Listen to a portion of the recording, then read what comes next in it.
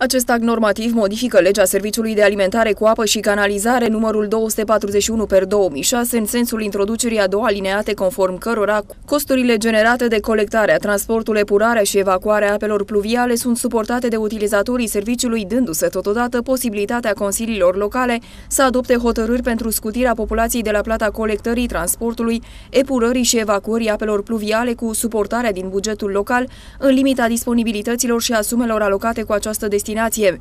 Președintele Consiliului Județean Vâlcea, Constantin Rădulescu, și-a declarat susținerea față de edilul șef și a subliniat buna colaborare pe care o are cu acesta.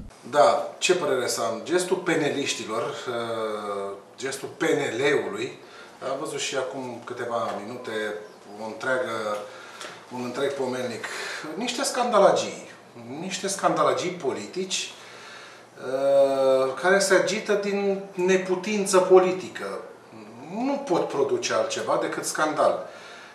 În timpul în care ei produc scandal și încearcă cu niște fițuici răspândite prin oraș să spună că va plăti lumea apa de ploaie.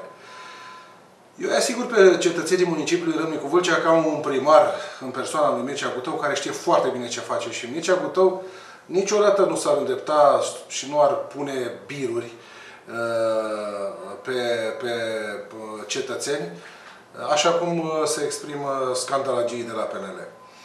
Sunt uh, într-o situație grea ei, pentru că nu sunt în stare să producă nimic uh, din punctul de vedere al unui dialog civilizat, al unor proiecte, dezbateri și așa mai departe. Nu mai scandal.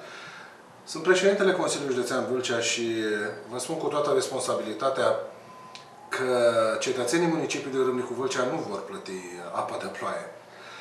De altfel, Vreau să încredințez pe cetățenii municipiului Râmnicu Vâlcea că alături de primarul Mircea Gutău uh, ne facem treaba pentru binele locuitorilor din municipiul Râmnicu Vâlcea și știu că mulți sunt foarte deranjați că această echipă merge mai departe. Am spus-o că sunt onorat, sunt onorat uh, la vârsta și la experiența politică și administrativă pe care o am, să am o colaborare excepțională și foarte bună, așa cum am cu Mircea Gutău. Mm, alături de primarul municipiului Mircea Gutău, uh, construim pentru oameni. Noi n-am mințit în pliantele pe care le-am distribuit legal, că împreună vom construi pentru oameni. Și chiar construim pentru oameni și sunt proiecte pe care le facem împreună. Proiecte despre care sunt convins că va vorbi domnul primar.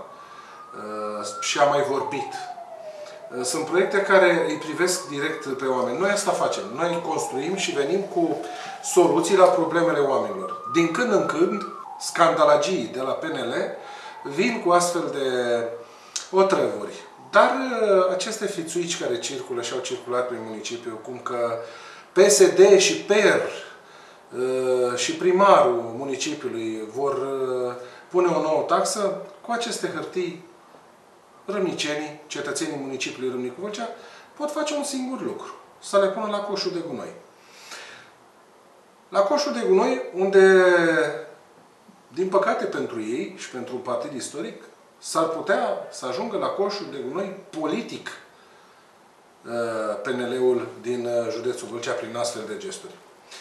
Calomniază, acuză, reclamă, Uh, scrâșnesc din dinți, din tot felul de declarații uh, politice. Eu cred că oamenii s-au săturat de scandal.